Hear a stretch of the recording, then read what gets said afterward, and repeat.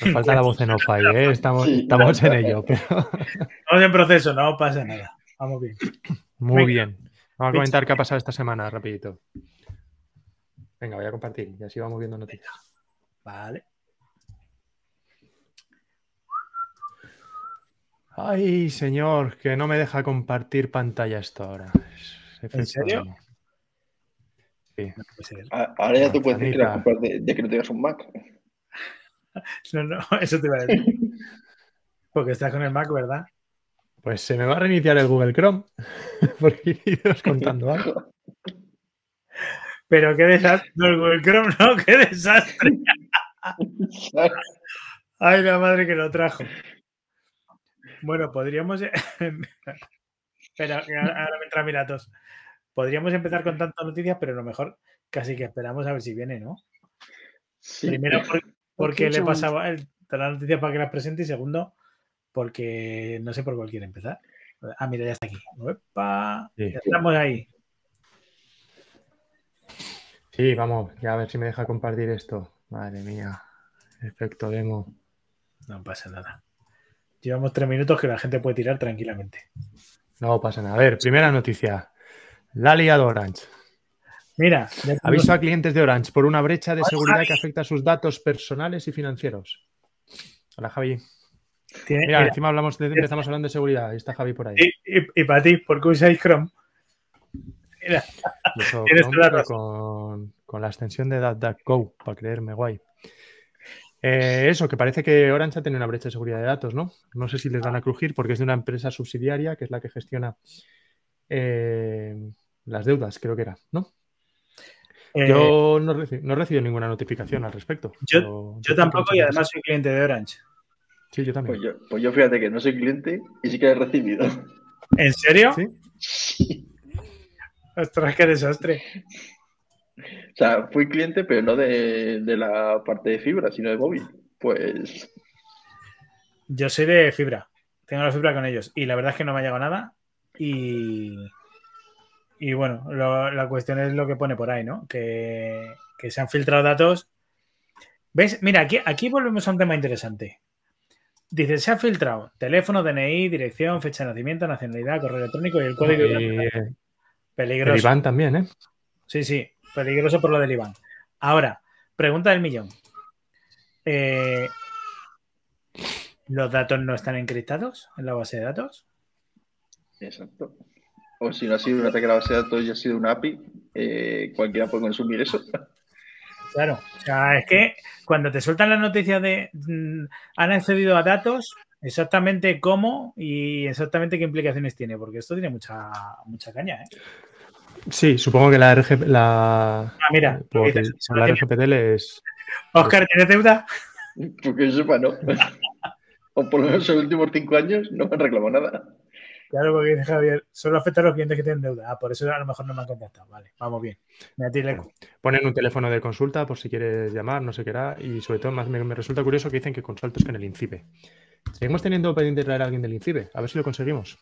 Seguimos teniendo pendiente y a colación de esto hay que decir que el INCIBE ha sacado unos fondos eh, con 30 puntos eh, de interés para quien quiera optar a, proyectos, ¿vale? como 30 áreas distintas, que son eh, la oferta más grande que ha habido de, no, sé si decir la oferta, la licitación más grande que ha habido de proyectos en, cuanto, en cuanto a pasta que hay, no sé si es un mínimo o, se plantea que los proyectos que entren eh, tienen entre un mínimo de 150.000 pavos y un máximo de un millón y medio o algo así.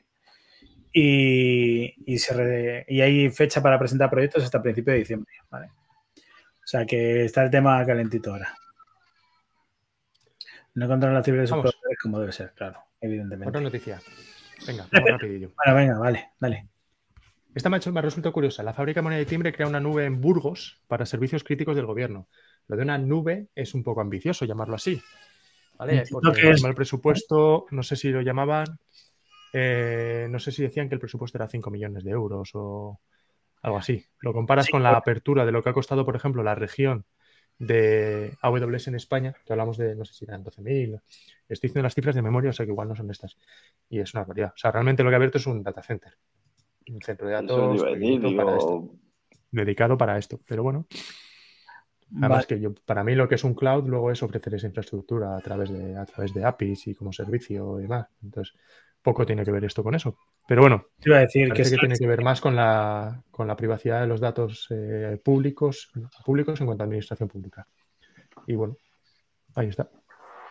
Por ponerlo en contexto, ¿eh? lo de eh, cuando hablan de nube. Sí, que, que, es la historia, que hablan de nube, pero en realidad es un data center. Nos cuenta Javier por aquí que también han craqueado el Poder Judicial y me alegra que nos cuentes esto porque tenemos aquí la noticia, ¿vale? Ciberataque al corazón del sistema judicial. Millones de datos personales en riesgo. Esta es más peligrosa todavía que la de Orange, porque esta se ha sabido ayer. pero esto tienen todos en, carpetas, en, estanterías, esta gente, ¿no? Todavía. no, el problema es que cuando dicen el corazón del sistema judicial, es un sistema que se llama punto neutro, ¿vale? Que viene por aquí. Venga. Eh, esto, punto neutro judicial. Y el tema es que es el punto de acceso a un montón de sistemas de los que tiene acceso el Consejo General del Poder Judicial, ¿vale? Entre ellos la Agencia Estatal de la Administración Tributaria, Colegio de Registradores de la Propiedad y Mercantiles de España, el Consejo General del Notariado, el Cuerpo Nacional de Policía, la Dirección General de Tráfico, la Dirección General de Catastro, la Fiscalía General del Estado, la Secretaría General de Instituciones Penitenciarias y la Tesorería General de la Seguridad Social. O sea, datos para aburrir. ¿vale? Y esto fue hace un par de semanas, eh, se ha conocido ayer y todavía se está evaluando el alcance. ¿vale? Eh, parece ser que dicen que, bueno, que todavía no se sabe mucho, que no han podido llegar a mucho y tal. Ya sabéis que al final uno dice una cosa, otro dice otra, ¿vale? Pero, pero parece ser que, simplemente metiendo el DNI, por aquí creo que venía, simplemente metiendo el DNI puedes conseguir el NIF de la persona, tienes acceso o tienen acceso a toda la información, ¿vale? Y se habla de millones de registros, con lo cual el tema para mí es más preocupante todavía que el de Orange. Sí, el tema es que qué protección podemos tener contra esto, ¿no? O sea, al final nuestros datos están cedidos y, más aún con el Poder Judicial, con la Administración Pública en la que tienen que tener los datos. ¿Cómo, nos protegemos ante estas cosas? Pues mm, yo creo que la respuesta más, eh, mira, dice Javi que es una infraestructura crítica, claro. Y por eso es de interés. Eh, yo creo que la respuesta viene un poco hilada a raíz de lo que hemos comentado antes, ¿no? ¿Dónde está la, la intrusión? ¿En las bases de datos? Toda esta información debería estar cifrada en la base de datos. No, no a estas alturas, viendo cómo está el tema, no deberíamos tener solo las contraseñas cifradas, sino deberíamos de tener toda la información cifrada. ¿Dónde están los métodos de acceso?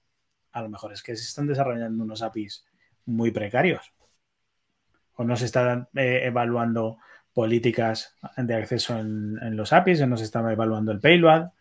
Habrá que ver dónde están fallando los sistemas. Porque, a ver, todos trabajamos en esto, todos sabemos cómo funciona. Al final, la mayoría de las veces, eh, los sistemas que tienen, te voy a decir todos los clientes, pero encima siendo eh, organismos gubernamentales o, públicos, suelen ser eh, mucho más precarios. Y hablando antes de que teníamos que traer a alguien del INCIBE, también me gustaría traer, llevo, sigo por Twitter desde hace mucho, la labor que está haciendo perdón, Jaime Gómez Obregón es, una, eh, es un chico que está poniendo sobre la mesa todos los problemas de transparencia que hay en contratos públicos, en la administración ah, pública. que acaba de construir hace poco el Super BOE, una manera de poder eh, reformularte el BOE para que sea más amigable. Y es un crack y, a ver si un día conseguimos que venga a hablar un ratito con nosotros sobre, sobre administración pública, transparencia y demás. Claro. Por cierto, que yo esta, esta noticia la conseguí a través de ti, Javi, que la vi en, LinkedIn, en tu LinkedIn. Venga, otra. Oye, vamos a hablar de una que no es de esta semana, pero como la semana que viene, la semana pasada nos, nos pilló liados, no, no pudimos comentarla. A ver, ¿qué os parece? Ponla. ¡Oh, terror! WhatsApp no funciona. Oh se cayó WhatsApp y nos fuimos todos al carajo. Dos horas y parecía que se había caído el mundo. Dos horas. ¿Qué hacéis vosotros? Yo siempre acabo entrando en Twitter a ver qué dice la gente, porque cuando ves que los mensajes no llegan, reinicias la wifi, reinicias el navegador y sigue sin llegar nada. Nada, yo paso. Yo cuando la veo y pone conectando, digo, uy, se ha caído otra vez. Dejo el teléfono, digo otra cosa. Me hace gracia porque siempre llegan las, públicas A ver, ¿qué dice Javi? eso no lo van a contar. El problema es que las las administraciones públicas tienen unos sistemas hardware, software obsoletos. da para una sesión aparte, ¿eh? el tema de administración pública. Sí, además tenemos pendiente hablar con Javi, que lo dijimos la última vez y no lo hemos hecho. A ver todos estos temas. Aquí hay mucho tema. Bueno, ¿os pasasteis a Telegram o no? Lo tengo, pero, pero no lo utilizo últimamente. Yo poquito. O sea, yo la verdad es que al final sigo usando WhatsApp con amigos y casi todo el mundo, ¿vale? Y Telegram, pues sí, con algunos o algún otro grupo o tal, pero la mayoría es WhatsApp. cada vez que se cae, salen los rumores de la gente, se va a cambiar, se lo va a comer Telegram. Al final nada cambia. Una caída y ya está. A las unas horas sin enviar mensajes a la familia. Mira, y ya está. Cuando queráis. Perfecto. Yo tengo dos o tres al final y, salvo que alguien me escriba por otra, yo por naturaleza me voy siempre a WhatsApp. No sé, supongo que es la comodidad o la costumbre. Bueno, ¿alguna otra noticia comentamos o cambiamos de sección? ¿No tienes más? Pues si quieres comento yo. No, es que como he reiniciado todo, he perdido todos los enlaces. Se ha ido toda la mierda, ¿no? Eh, venga, no, pues si quieres cambiar de sección, porque muchas de las noticias que tengo están asociadas a otra sección. Así que las podemos. Ah, ya sé a qué sección quieres pasar. vamos a lo que quieras. Venga, elige tú. Vamos a seguir con noticias, pero polémicas. Oye, que, si queréis ya salgo, ¿eh? O sea, os dejo solos. No, no, no. no. Tonto, vamos a la polémica, venga.